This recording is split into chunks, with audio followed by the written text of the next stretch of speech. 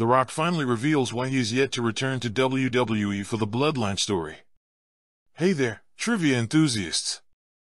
The WWE Universe has been buzzing with anticipation for The Rock's return to the squared circle to take on Roman Reigns in a colossal showdown for the Bloodline storyline. But why hasn't it happened yet? In a recent appearance on the Pat McAfee show, The Rock himself spilled the beans. It's not about injuries, and it's not about his hectic schedule.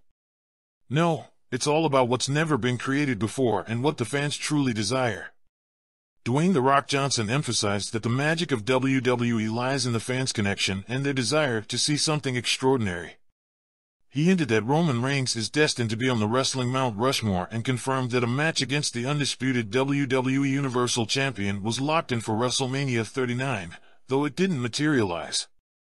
So, will The Rock ever grace the WWE ring again? As long as Roman Reigns holds the championship, the possibility remains wide open. With WrestleMania 40 on the horizon, The Rock teased a potential return. It's no longer about injuries or schedules, it's about creating that unforgettable moment that wrestling fans crave.